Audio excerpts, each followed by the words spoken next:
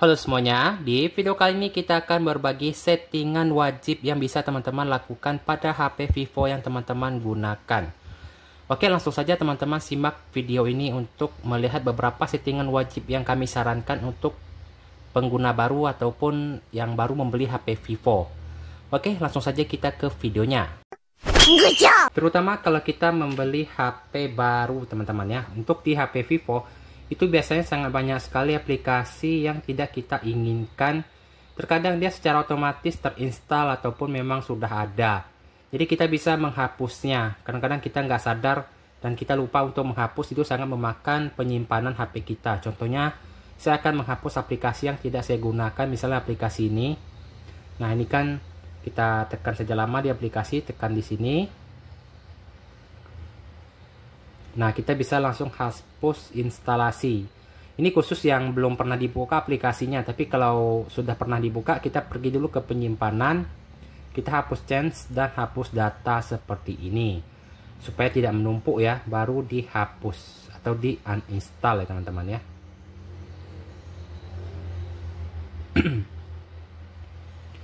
Nah, seperti itu. Jadi silahkan teman-teman cek pada HP Vivo-nya apakah ada aplikasi yang tidak digunakan ya. Hapus saja teman-teman ya.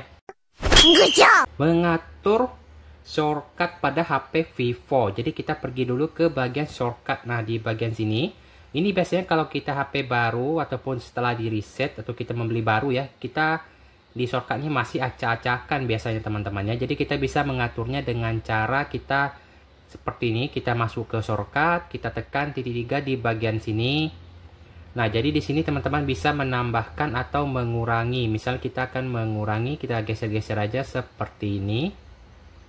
Nah misalnya apalagi yang ingin kita kurangi? Kayak gini ya kita bisa geser-geser. Ataupun sebaliknya kita ingin menambah. Kalau ini yang belum yang di bagian sini yang ada seperti peta ini ini yang belum ada ya. Kalau yang di sini yang sudah ada jadi kalau misalnya yang ini kita mau adakan taruh di sini kemudian ini taruh saja di sini. Kalau sudah tekan selesai. Jadi seperti itu untuk setting shortcut ya bisa teman-teman lakukan pada HP Vivo yang teman-teman gunakan. Setting font pada HP Vivo teman-teman ya. Seperti yang teman-teman ketahui kalau di HP Vivo apalagi ya baru itu kan masih menggunakan font bawaan ataupun font sistem jadi kita di sini bisa mengatur untuk font terlebih dahulu. Silakan teman-teman buka pada pengaturan. Teman-teman pilih tampilan dan kecerahan seperti ini. Kemudian teman-teman pergi ke gaya font. ini kita tekan setuju ya. Kalau baru dia pasti seperti ini.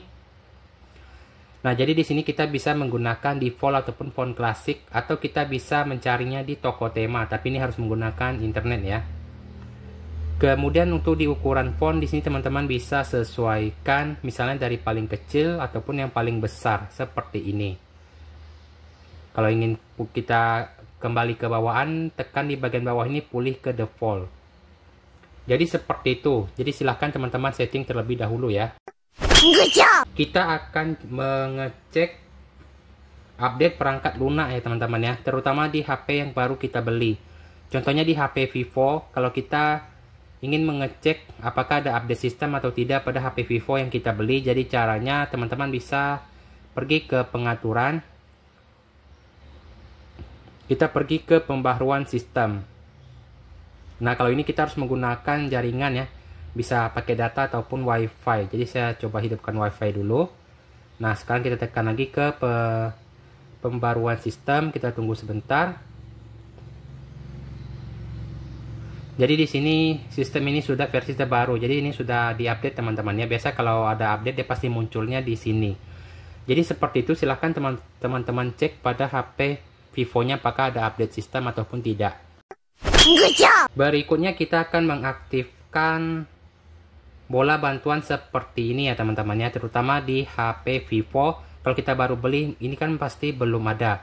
Jadi settingan wajibnya kita bisa mengopsionalkan seperti ini teman-teman ya. Maksud saya kita bisa mengaktifkan bola bantuan karena ini sangat membantu teman-teman ya. Jadi untuk mengaktifkan bola bantuan teman-teman pilih dulu di pengaturan. Kemudian di sini teman-teman cari di bagian sini ya. Eh, pintasan dan aksesibilitas yang ini teman-teman ya. Pintasan dan aksesibilitas, teman-teman pilih pilihan mudah. Sorry, pilih sentuhan mudah. Ini harus diaktifkan. Kalau nggak kita aktifkan, dia bakalan nggak ada seperti ini. Jadi seperti itu ya teman-teman ya. Selanjutnya kita mengatur nada dering ataupun nada notifikasi. Seperti teman-teman tahu kalau di HP Vivo yang baru kita beli, nah itu kan masih bawaan. Jadi kita bisa mengaturnya atau mengubahnya terlebih dahulu terutama untuk nada dering ataupun nah, suara notifikasi. Silahkan teman-teman buka pada pengaturan. Nah, kemudian di sini teman-teman pergi ke bagian suara dan getaran. Terutama teman-teman cari dulu nada dering. Nah ini ada nada dering panggilan masuk. Di sini ada nada, nada dering bawaan. Bisa teman-teman tes saja satu persatu yang mana. Ataupun teman-teman bisa menggunakan nada dering kostum ini yang dari uh, yang hasil ada pada memory card kita ataupun hasil dari yang kita download jadi misalnya kita akan ganti dengan ini nah tekan saja kembali nanti dia secara otomatis sudah terubah. Kemudian ada juga nada pesan atau notifikasi. Ini bisa teman-teman sesuaikan juga. Kemudian ada juga nada dering notifikasi. Jadi beda notifikasi dengan pesan. Kalau pesan ini ke SMS, kalau notifikasi itu seperti WhatsApp dan sebagainya. Ataupun YouTube, TikTok. Jadi teman-teman bisa mengaturnya seperti ini juga ya. Kita coba.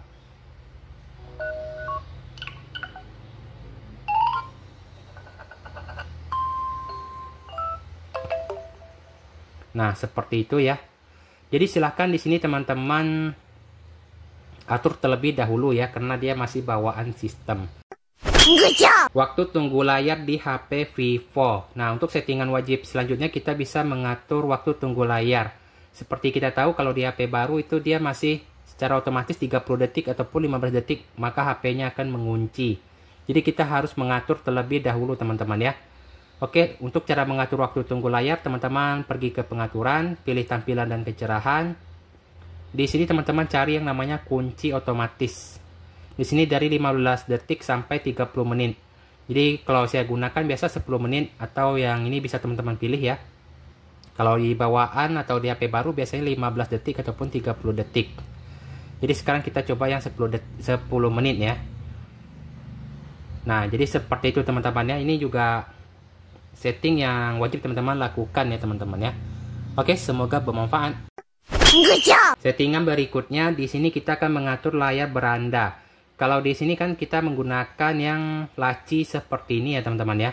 Terkadang kalau di HP baru dia kadang model laci ini belum aktif.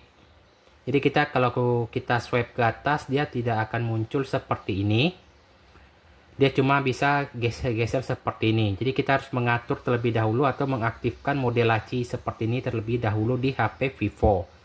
Jadi untuk kita mengaktifkan mode laci atau mengatur layar beranda, caranya teman-teman seperti ini ya. Ini yang kosong kita tekan nama satu jari. Sampai muncul seperti ini. Kemudian kita pilih yang pengaturan ini ya di sini. Kemudian kita pergi ke gaya layar beranda.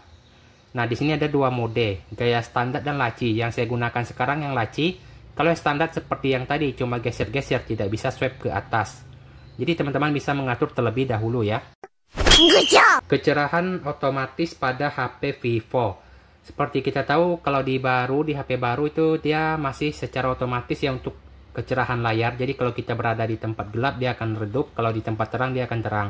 Kalau kita terganggu dengan fitur ini, kita bisa matikan jadi untuk cara matikan sebenarnya kita bisa dari shortcut kayak gini.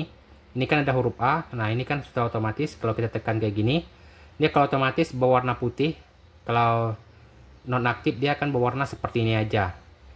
Atau kalau teman-teman kurang paham bisa langsung ke pengaturan. Ke pengaturan teman-teman cari tampilan dan kecerahan. Kemudian ada pilihan ini ya, kita cari dulu Nah, di sini ada kecerahan otomatis. Ini bisa diaktifkan atau dinonaktifkan. Ini biasa saya matikan karena terkadang mengganggu ya teman-teman ya. Oke, jadi itu settingan wajibnya bisa teman-teman lakukan. Opsi developer. Untuk di HP Vivo, terutama kalau kita baru beli itu pasti belum aktif untuk opsi developer ataupun setelah HP kita reset itu pasti opsi developernya belum diaktifkan. Berikut ini cara kita mengaktifkan opsi developer pada HP Vivo teman-teman ya. Jadi silahkan teman-teman buka di pengaturan. Kemudian teman-teman pergi ke bagian pengolahan sistem, tekan tentang ponsel, kita scroll ke bawah. Di sini kita cari versi perangkat lunak. Di sini ya versi perangkat lunak kita tekan double tap. Di sini saya munculnya tidak perlu Anda sudah menjadi developer. Itu yang artinya saya sudah mengaktifkan opsi developer ya teman-teman ya. Tapi kalau belum diaktifkan nanti dia kita tekan-tekan aja sampai beberapa kali nanti dia akan muncul. Jadi kalau sudah misalnya opsi developer yang sudah aktif, kita pergi ke bagian sini untuk melihatnya. Kita pergi ke bagian pengolahan sistem, kemudian kita scroll ke bawah. Nah, di sini sudah ada opsi developer. Nah, ini tinggal kita aktifkan aja. Jadi seperti itu ya teman-teman ya.